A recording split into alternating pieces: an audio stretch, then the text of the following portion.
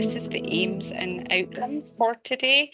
So the aim is to understand what is meant by person-centeredness and recognise ways to um, ways we all co-create and develop person-centred cultures. We'll explore a wee bit um, in detail and um, look at the definitions and description of person-centeredness. So what does that mean? We'll also look at uh, culture and lastly we'll, we'll start to think about how do we recognise ways that we all co-create um, and can evaluate person-centred cultures.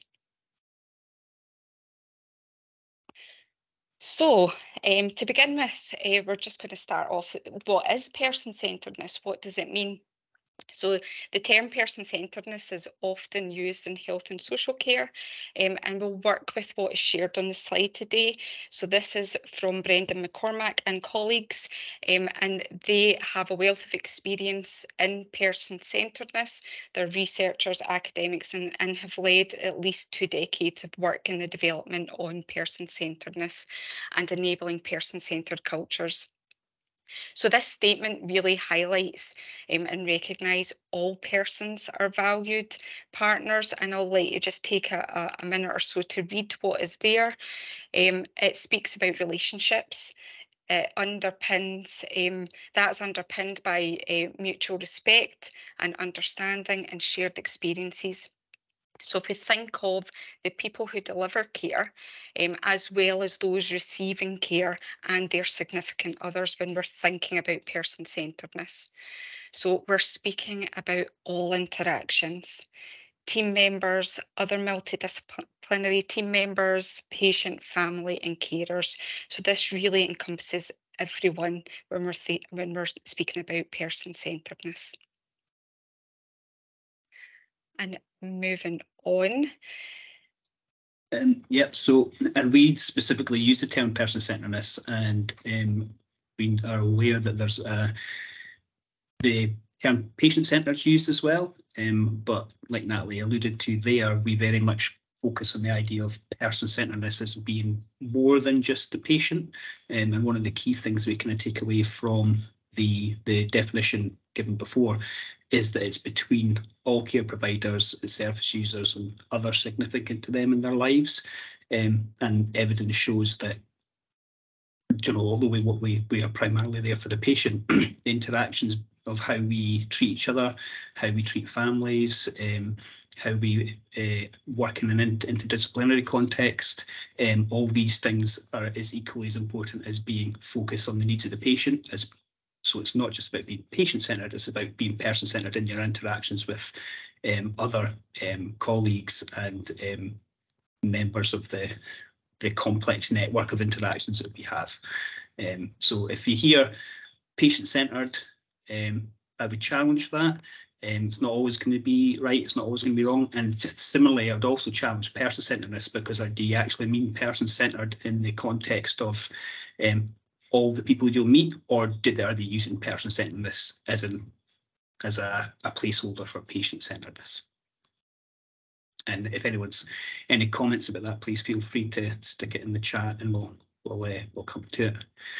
Um, and there's a growing body of evidence around person-centeredness um, because uh, it recognises a link between um, internal and external partnerships and relationships and the importance of culture, which we'll speak about today um, the positive association between good culture and good outcomes, and a whole raft of uh, different things like service performance, quality of care, user experience, staff experience. All these things are signs of, um, uh, you know, if there's a good link between good culture and good outcomes, all these things should be involved. And if there's person-centred cultures in place, then evidence-based shows links between increased staff morale, motivation, uh, people feeling listened to, valued, um, a greater staff, staff satisfaction engagement, um, staff well-being and psychological health, and employee uh, improved employee retention, which is obviously a major thing. And that's coming from a, a, a recent source. And I suppose people could be easily be thinking, well, why does this matter? Um, a wise understanding person-centered culture is important. Um, and what we often do when we are um, running our programs in NHS Tayside is kind of highlight um, where things have where things have gone wrong and um, what often comes from um, you know incidents that have happened uh, where you know uh, small or big incidents have happened quite often you'll find that uh, cultures at the heart of it. Um, you know things have become permissible places aren't psychologically safe for error reporting um, and quite often although the things have taken place quite often you know it's not necessarily individuals who are to blame it's the culture itself that is um, uh, the actual problem. And um, what we often find is when things go wrong they can really go wrong and um, poor culture can have absolutely catastrophic consequences Thank you, Andy. So we're moving on to what is culture um, and what do we mean by culture? So you might be familiar with this graphic. I think it is a really powerful visual um, and always important to share. Um, an iceberg is all about what you see and what you don't see. Um, and I suppose if we look at this, um, this graphic here, what you see above the waterline is related to the, the way we see we say we get things done. So this can be strategy, policies, structures, shared values, vision, goals, things like that. Um, and I suppose thinking about that in, in much more depth. Have you seen or experienced times where you've seen shared values or a vision statement um, that's been displayed in an area? But maybe they're just words um, to you and you're not sure of the purpose of them, or maybe haven't seen them being demonstrated in the way that people interact with each other. And we mean that with all people, all persons, the way the team interact and the way that um, other people um, are, are um, interacting. So below the waterline um, are the things related to the way we really get things done, such as the beliefs we hold, the shared assumptions, the traditions, the values and the norms, um, unwritten rules, the stories and the feelings. And these are generally the things that are developed through time and considered valid, therefore are passed on to others as the correct way to perceive, think, and feel. Um, and I suppose from my own perspective, I can th- really think about it resonates with me, and I can think about times where I've experienced and been part of things like that. So those norms and daily rituals, such as you know, um, refreshing the water jugs at a certain time of day, um, the lights being switched on at a certain time of day, then being turned off at a certain time of day um, everyone sitting up by their bedside to have their breakfast. And these are just to name but a few. The list really goes on and um, on. So I suppose what I'm really trying to um, highlight here is that culture is learned, it is passed on. Um, it's sometimes about fitting in um, with that culture, but it's also important to know um, and remember that culture can be changed and it is key to organisational excellence. So, what does person centeredness mean? And what does culture mean? If we're looking at another um, good quote um, from uh, McCormack, Brendan McCormack, and Tanya McCance's work, um, if you read that definition there, that is really speaking about understanding person centeredness refers to all people. Um, and when we really think about the culture that um, we're part of. So it's about the importance of healthful relationships um, between all involved, where everyone feels valued, listened to, respected, and can shape. Um, this can be shaped by their own experiences. So um, the next steps are shaped by that. So a colleague once said to me, for people to experience um, person-centeredness um, and person-centered cultures, um, they really have to experience that themselves. Um, and I thought that really resonated with me. It really um, stayed with me um, to think about it like that. So we'll move on to, we have a video here. You get a little bit more on Natalie, a little bit less me, um, and of a conversation she had with um, someone who had attended one of our practice development programs in the NHS Tayside, um, speaking about uh, person-centeredness and values and vision. My name's Natalie, uh, BT in Practice Development um, Nurse in NHS Tayside, um, and I'm here today to speak about developing person-centred cultures. So I'll just hand over to you, Laura, if you want to just introduce yourself, and then I'll, I'll ask some questions after that, if that's okay. Thank you, Natalie. So my name's Laura Campbell and I'm a primary care link worker here in Dundee. Lovely, thank you. So, um, Laura, I was just going to ask some questions in around uh, values and vision and what they mean to you and what they mean to the, the team that you work with. So um, I'm just going to start off uh, with that first question. So, and I, please just take your time and just think about um, uh, how you want to answer that. Um, but so, when did you start thinking about values and shared values and vision? To be honest with you, I hadn't really given it much thought. I hadn't really thought about how my own personal values impacted on my day to day practice. Um, it was until I'd gone on a transformational practice development course, and that really stripped things back and made me realize how much of a part our, you know, our intrinsic values actually do play in the roles that we take on, private life and very much so work life as well. Thank you. And in what ways, so what values really stood out to you and what you what was the the ways that you you demonstrated them?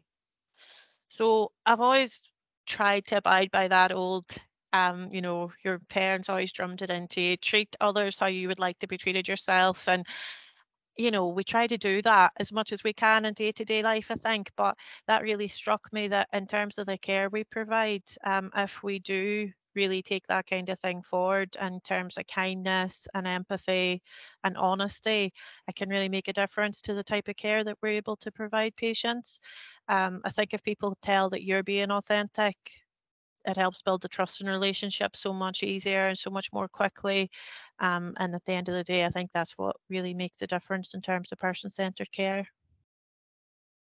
Thank you, Laura. What I'm really hearing there is it's just it's a way of being. It's just who you are every day. Um, thank you. So just sort of going on to that that next element of that. So um, you said you, you sort of were introduced to that um, through a, a transformational practice development program and that made you really think about it. How did you how did you take those thoughts and reflections back to the the team that you you worked with and and how did you explore that together? We're quite lucky in that um, our team leader was really invested in um, helping us come together as a team. So we were able to have some um, team development time put aside, especially like specifically to really look at who we are, what our service is, and what we wanted to deliver.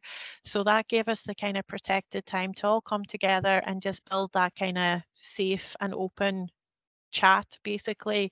Um, and it was just really eye opening to have that time with our colleagues, you know, out with the normal working dimensions of stripping things right back. And I remember one of the quotes in the course I'd done was, um, you know, about really looking at the very base level of who we are, what we want to do. Um, forget the wee tagline. but yeah, it was all about really stripping it back and looking at what we wanted to deliver. So how do we make that happen and doing that together?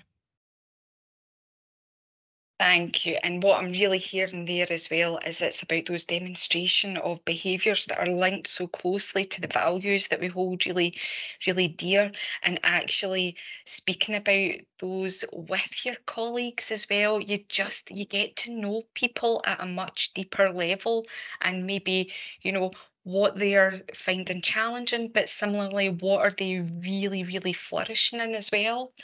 Um, so was that uh, when you're speaking about eye opening, was that part of that, um, those conversations? Definitely. Um, I think we're all sometimes a wee bit not guilty, but you know, you can kind of lean towards making assumptions about people whenever you've maybe worked with them for quite a long period of time or a shorter period of time, but it's very one dimensional the way you see people.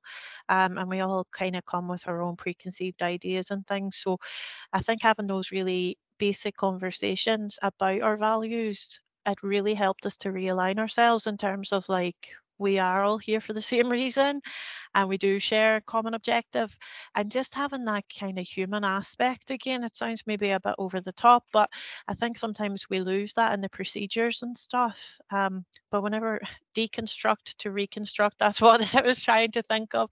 Whenever we pulled it right back and really looked at you know we are all empathetic. We are in this profession for a reason. Do you know what I mean? We want to help people we all have the same challenges to a certain degree, you know, the writing reflex and all these other things that we struggle with. So um, being able to really form stronger bonds, I would say, in terms of the shared values, um, really, it was really quite eye-opening and quite enlightening.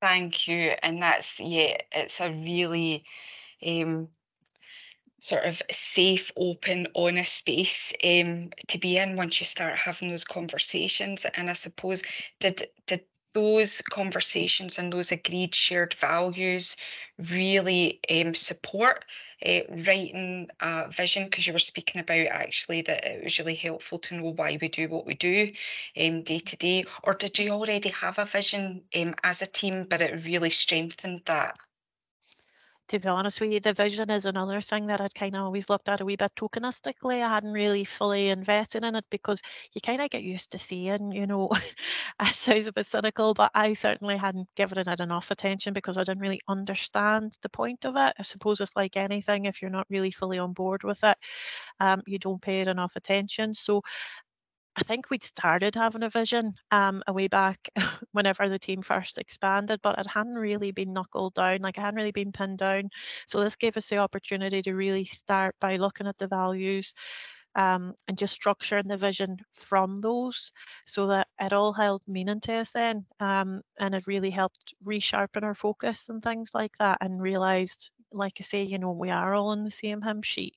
Um, although some of the procedural stuff can still be a wee bit tricky or whatever, you know, if you keep going back to that shared vision and values, it just helps tighten the ship, I think. Thank you. Yeah, it really resonates with me as well. It did just give that grounding um, of knowing why we do what we do. And I suppose, did it help to speak about the challenges? I'm hearing you saying about, you know, there, there are still things that, that need to be done every single day um, within the services that we provide and as a team. Did it help? Um, sort of exploring those challenges together, having those shared agreed values and that vision that you were all working towards? Absolutely. Um, our manager picked up on the fact that we were having much more challenging conversations.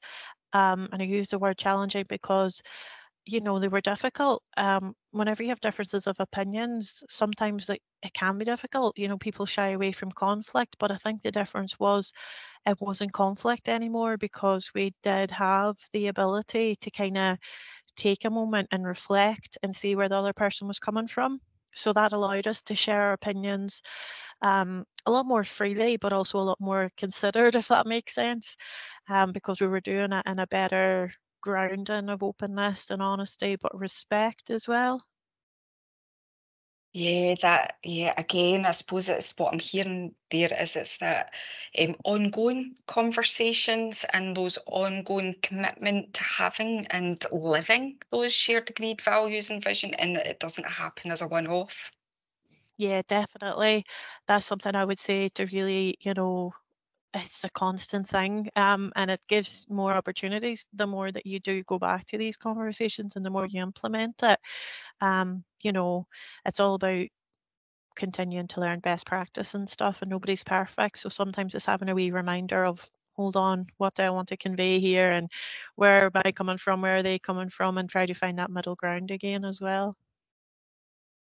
Thank you, Laura. And I suppose just to summarise it for the people that are watching um, today and, and can maybe resonate with some of the things that you've shared, what one piece of learning would you really share with others in around this whole process? So knowing your own values, agreeing shared values with the team that you work with, and um, agreeing a vision, a shared vision come with an open mind. Um, I know that gets said a lot, but I think it really is true because, as I say, we do come with preconceived ideas. You know, we've maybe been side by side with people and we think we know them, but it's really enlightening and enriching, um, and it can really help develop yourself and your colleagues if you come to it and just be ready to actually just listen and take on board what everybody else is saying because you'll learn something new about you but also them as well.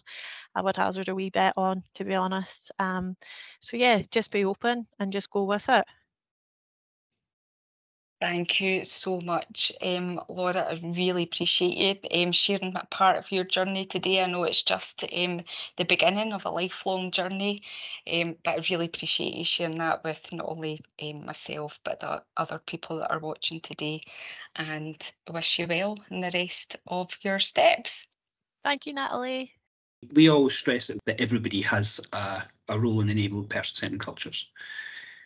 Um, and quite often, especially these days, um, these things are within our codes of conduct and healthcare healthcare strategies, and certainly within um, our pillars of practice, um, the our role in enabling person-centered cultures. So when it comes to whose job is this, um, it's very much um, everyone's. Um, and and what we're saying earlier on about it not being someone else's job to instill culture, it's how we all interact with each other. This is um, the person-centered practice framework, um, and we um, this is something that we use again from um, Tanya McCance and Brendan McCormack, um, who are sort of leading academics on uh, person-centeredness and practice development um, about how um, how best we can um, underpin our activities with uh, with uh, theory. So I don't know if this is um, familiar to people. Um, Natalie will speak about the person-centered processes in a second, um, and I'll just go through the outer rings um, there. And we do find this quite useful and it kind of puts everything into context. And so outside there, you've got the macro context, which is, you know, quite often um, depending on where you sit in the organisation, what your role is, you'll actually have very little to do with with those sort of things because these are like the strategic leadership and policy frameworks and all that kind of thing that seem to kind of come out um, you know thick and fast from government or uh, large organisations or from your own organisation. Um, and although there'll be opportunities to kind of feedback and these sort of things, quite often these are the things that you've got very little sort of control over. That next inner ring, that's the prerequisites. So it's what you kind of need to have in place for um, to have a person-centered culture or a healthful culture. Um, people need to be professionally com competent. Um, there's a commitment to the job. Um, communication skills and interpersonal skills. But one of the key ones that we always focus on in practice development um, and in our team is this idea of knowing self. Um, and we're, we're big on that. We spend a lot of time on it. Um, we um, we believe, and one of the cores of uh, practice development and person-centeredness is you can't really get to know others unless you know yourself, and you don't know your values, um, you don't know your um, essentially what makes up you, what upsets you, what your strengths are, um, knowing yourself and how you're going to approach things is um, is key, and we're always keen to sort of uh, to stress that. And then um, at the the next one, the the the that that green one there, that is the practice environment. And I keep looking at my notes here because it's too small on my screen to see what's actually written in the middle. So apologies for that. But uh, that's the practice environment. And this is where you can, you know, like the what you can do within your own areas and all that sort of stuff really begins to have an effect because um, although you can't control everything in your practice environment, it is your local area. Do You know, um, you have a greater voice in how things are done.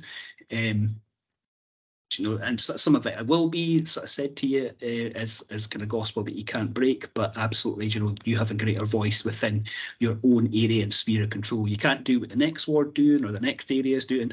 Um, you can't influence that necessarily, but within your own area, uh, that's where you can start to make changes um, in and around making things more person-centred, both for patients and for uh, you and your colleagues. We're just going to concentrate on the the centre part, the central part of this model. So um, it's the person-centred processes. It looks like petals um, of a flower, and we often um, refer to it as that when we're speaking about it um, within our team. So these are the elements that we all have an opportunity to apply every single day, day to day, as a way of being um, and reflect and learn upon. So when we break it down um, through these uh, petals and these uh, processes, and these are for everyone, regardless um, of role. It's it's a day-to-day um, way of being, as I said. So we'll focus on the first part there. So it's working with um, beliefs and values, and Laura spoke about that in the video that um, that she shared. So what really matters um, to us as people and others as persons um, really enables a good understanding of ourselves and others. So, who we are, what motivates us, what's important to us in terms of our values and beliefs, and they in turn um, drive our behaviours. So, it is really important to, to work with those um, values and beliefs. Um, engaging authentically is the, the um, next petal, um, and that is about engaging all persons um, in decision making by considering their values and our own values, the experiences that we share, any concerns um, or future goals and aspirations. So it's really about um, understanding each other. It's it's not about it's not necessarily about um, individuals, but it's about um, knowing what we say um, and how we connect with each other. And that's sort of linked, I've taken it right into sharing decision making. Um, so it is about really understanding um, individuals and ourselves um, when we're making those shared decisions. Um, being sympathetically present, um, and that can sometimes be a, bit more challenging um, to explain um, to others um, because it can be quite, it can be linked quite closely to um, empathy as well. But what I always say is it's not about walking in other people's shoes, um, in that you when somebody's sharing something with you it's what they're experiencing what they're feeling in those moments and you can absolutely be present and listen and, and try to understand what they're going through. Um, but you wouldn't necessarily um, experience the same thing or have the same feeling. So it's about really actively listening and understanding and recognizing that everybody's unique um, as a person that last um, petal there is uh, working holistically, and that's about connecting um, with others, and it really pays attention to the whole person and not solely what they're presenting with at that moment in time. So taking time to know who they are um, within their, their physical sense, psychological sense, um, socio-cultural sense, and spiritual well-being. So connecting it all and really getting to know um, each other um, yourself and the, the other person that you're having that conversation with um, in that moment. So that is a wee bit of a whistle stop tour of person-centered processes, but just taking the time um, to really look at look at that and reflect upon it. It is absolutely about the things that we do um, every single day as a way of being, and they all they are all interlinked. If we think about co-creating conditions. So enabling person-centred um, um, cultures. As we've spoke about um, through Laura's video and through the other slides that have been shared today, um, shared values is really important um, as a building block um, to co-creating conditions. So knowing yourself and knowing others. So uh, we are obviously referring to the team that you work with and the people that you work with, as well as those who are receiving care as well. So shared values is really important. A really good um, thing just before we move on uh, um, to the next one is values drive behaviours and behaviours drive culture. So it is a really, really important building block. The most effective teams um, are the ones that are curious and ask critical questions of the team and in each and of each other. So the who, what, why questions. And I've seen some of that in the chat and um, what we've shared and around it's some people say these are things that we do day to day just because it's the way we do it around here. So just ask why do we do it like that? Um, can we try something different and what could be better? Um, a really good Albert Einstein quote is if you always do what you've always done, you'll always get what you've always got. Just, so start being curious and asking those questions and working through the challenges and celebrating what's working well as well. The next one is about feedback. So how do we ask as individuals for feedback and who do you ask and is the purpose clear and do you have time and space um, to discuss in uh, the feedback um, with that person that you're requesting from um, we, within our team, um, we speak about feed forward as well. So that's another option. So thinking about um, framing things slightly differently um, and uh, maybe asking questions in around in the future, how do we do this? Or the next time, how do we do that? It's just changing it to a feed forward.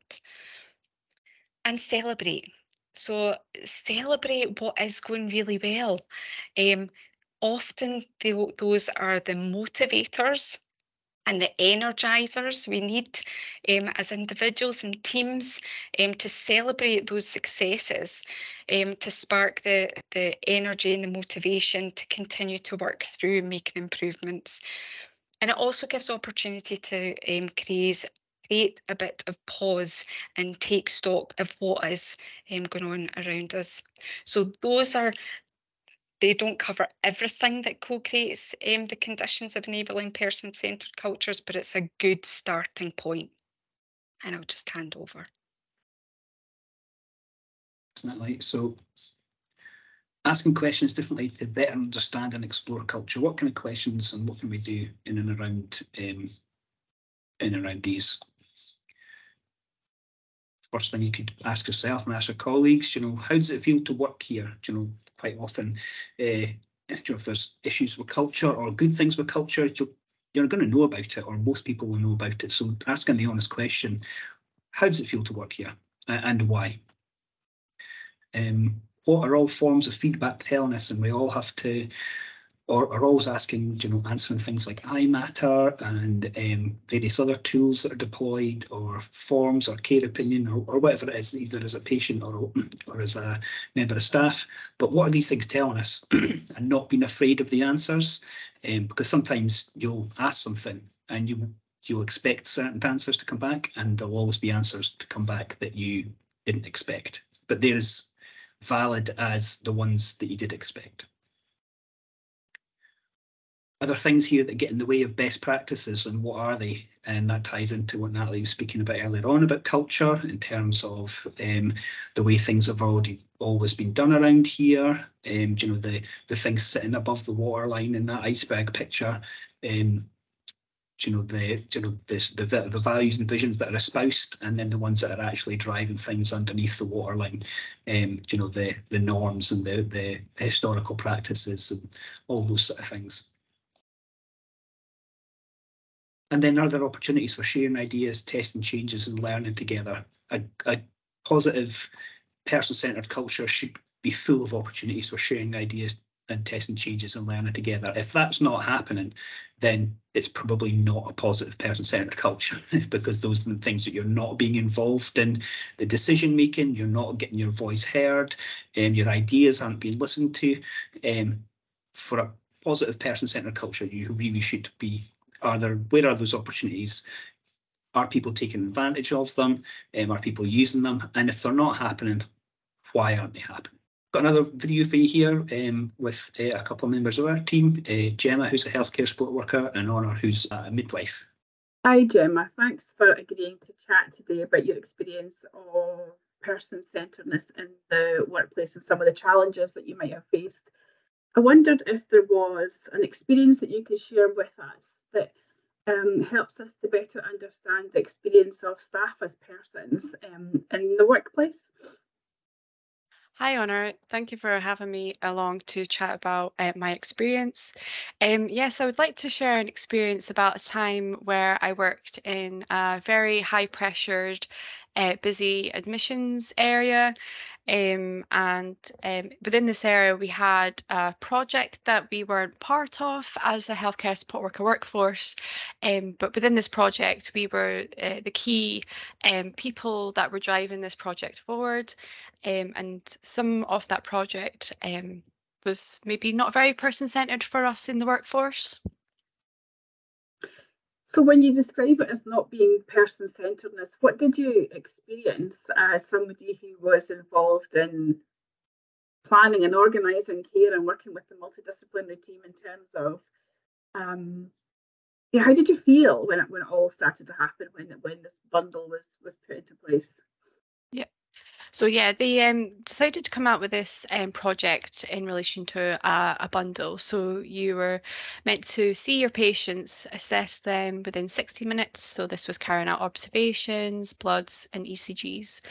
Um, as the healthcare support worker workforce, um, we were the ones that obviously are very patient facing role, um, interact with our patients on a day to day basis, really know our patients.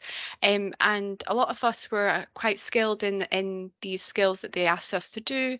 Um, we weren't actually involved in the project, and um, we were told about this project about a week or two before implementing the project. Um, and yes, um, it wasn't very person centered. It did challenge us in our values as colleagues, um, and I'm sure that challenge had itself for um, patients too as well. That's it's really interesting, isn't it? Because we always think that we're doing things in the best way that we can by involving people, you know, getting our stakeholders around the table. And I wondered if you reflect upon it now, if you had been one of those stakeholders around the table when that planning was going on, how do you think you could have been able to influence um, how it was implemented?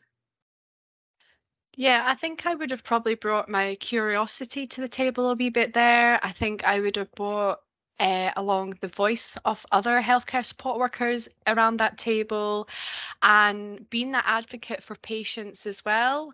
Um, I feel we didn't get the opportunity to challenge this or we didn't get the opportunity to really seek to understand why this was happening and um, we never really got to know what the background of the reasoning behind this bundle was um, so yeah i think um, definitely wasn't a stakeholder involvement with that one and i think yeah we could have really brought uh, the voice of healthcare support workers and patients to the table with this one Thank you for sharing that. It's really important because when we think about working with people's values, it makes me wonder then if this was supporting your values and the way that you like to work, and was there an opportunity to engage with the values of the people that you were caring for um, as you were carrying out that task, which does feel really tasky and less holistic care. So, how did that feel being in that space, and how did you feel how did you work within your values or which values did you have to push to the side a little bit to be able to function as part of that um, care bundle yeah almost um, i would say almost my integrity um, to a certain extent. I didn't feel that i was able to uphold that integrity. Like i said it, it did cut across my values um, I didn't feel like I had respect as a colleague to not even be told about the project. And then to implement this project with patients and other colleagues, um, not having that awareness about, you know, the mm-hmm. reasoning why this was happening, um, you know, the respect from other people. Um, yeah, and just being recognised for what we do within our role as healthcare support workers and what we could have brought to the table with that one. Thanks for sharing. I wonder if so if you were reflecting on a day when you were working in, in that way, what would that look like for you now? And if you had the opportunity to go back and influence that in the future, would you be doing it a different way? So I suppose first of all, could you describe what that day would be like? What what the worst case is? And mm-hmm. if you could if you could, you know, influence and mold that in a different way, what would that look like? Yeah. So on a worst day, um, if you were the healthcare that was uh, carrying out the 60 minute bundle, um, you would be doing that task for a good 12 hour shift. So you'd be constantly doing the same thing over and over and over again, almost robotically um, in a sense, because you had targets to meet and obviously pressures from from high up as well to, to try and get these patients assessed and, and moved on and, and meet certain organisational targets. Um, I think reflecting back now, looking at my own codes of conduct, my own values, I think if I was to be put in that situation again, I think I would have maybe challenged it slightly in a way of maybe thinking, actually, should we cut up the workload here? Should I be doing it for a few hours at a time and another colleague? Because I wasn't getting the interaction that I love being as a healthcare support worker with my patients, um, which are the fundamentals of care. Um, I felt I was more task focused than I was actually people focused. Um, so I think, yeah, if, if we kind of um, came to an understanding of right okay this is this is what is happening we can't change it but how can we change it as people to make it better for ourselves? Definitely um, a few hours at a time rather than it being the whole day situation. Thank you and reflecting back is so important isn't it? Because sometimes we go along with things because you know we're in that space and we believe it's the right thing to do, but actually having the strength and the voice and the and the embedded values to actually challenge things is is quite is quite challenging in itself. Was there anything that stood out as the biggest challenge for you whilst whilst you were doing that, or one thing that you thought, "Gosh, this doesn't feel like I'm delivering the best care"? Was there anything that stood out for you, particularly as a as somebody with embedded values and somebody who does live live around the person-centered practice framework, um, certainly now in your new post, and how how how would you describe that time? Yeah, I think what stood out for me really was um, there was a day that I was on this task focused project um, for I think it was like three days straight. We were quite short staffed in the area at the time, and I could see the stress of my other colleagues trying to to attend to patients' needs, and I felt like it was a struggle for me to take away from what I was tasked with to then support them. It wasn't until I actually went home that night that I just had this sinking feeling in my stomach that I just felt that I wasn't doing the job that I signed up to do as a healthcare support worker, which was be there for my colleagues, be there for my patients, um, and be there for myself. Um, it wasn't until I went home that night that I had a sinking feel in my stomach and I just felt ashamed, uh, almost say, so to speak, because I didn't feel I was actually meeting people's needs, um, like what I set out to do and the job that I intended to do in the first place. Oh, that's so, that's so sad, isn't it? When when you're just so busy and caught up in the doing that you don't get a chance to really reflect and think about what could be better here. What is the art of the possible? You know, how could this, you know, how could this be better? Um, and mm. and if a space is both safe and brave, and you're able to stick your hand up and say, "What's going on around here?" You know, yeah. but it, it sounds like that wasn't a space that was enabled for you. And I wonder now, with your experience of working in person centered ways, how you would enable that kind of environment in the future for others working. Because you're right, it's the experience of all persons, um, not just patients, not just doctors, not just nurses, absolutely everybody that's involved in there. So, how would you influence that kind of environment now? Yeah. I think um, for myself, it took a lot of growth as a person to find my own confidence, um, to find out who I am as a person. I sometimes feel that uh, when you put on a uniform and you're labeled as a healthcare support worker, that you should just um, be that person and you you aren't able to bring your own person out of that. And I think it's not until I've been in this practice education role within the practice development team that I've fully understand what person centeredness means, what it means not just as a person, but being within a team, having a voice, having a helpful culture to be part of, to be part of a team that listens to you and values you. So I think um, for the future, I think it's about saying to people that you do have a voice, um, that you should be able to speak up and and do it confidently, but um, in a gentle challenge as well. Thank you for sharing that. And I know you enable that for people now through the development pathway work that you do and through um, really person-centered induction to the to the role that you facilitate for others. And I imagine that for the future things will be different, you know, because mm-hmm. people feel feel feel more enabled. And I think the thanks is down to people like you who have challenged, will go out, will seek to understand, will always work, you know, with shared decision making and authentic engagement to ensure that um, things are better in the future and that person centeredness is held up as being important for all persons. So thank you for sharing that today and um, thanks for your time. No, thank you, Honor, for letting me share my story. Um, no. And thank you for everyone for listening. This is a quote taken from um, Helen Bevan, thinking about the small, um, the small things that you can do. So often the small things make the biggest impact. Um, and it's the ripple effect from those small changes and the consistency around those small changes that really make the difference. This is the circle of control. Um, so focus your energy on what you can change. So that middle bit there is the circle of control, your, where it's full control. So like your words and actions, how you can behave and respond, um, your efforts and ambitions, mistakes and learning, thoughts and enthusiasm and attitude and outlook. That's all you. That's all thing. And I've seen some comments there in and around, you know, obviously some people being quite positive in and around, you know, their um, experience and where they work, but obviously that's not everyone's experience. and we we do accept that we do know that that's difficult so and you can only control how you are uh, and role modeling your own behavior um so and that's quite often where it starts um, the circle of influence is some control, so that's your relationships with others. Um, you know, things like staff retention, you know, opportunities development. All these things will will vary where you are, but you worry less about those because it's not something you can control. And then there's the circle of concern where there's no control. Other people's behaviours and reactions, other people's mistakes and opinions, um, what others think and say, people what they're demanding of you. Um, so it's just a it's just to kind of be aware that we're we know that you can't do everything yourself.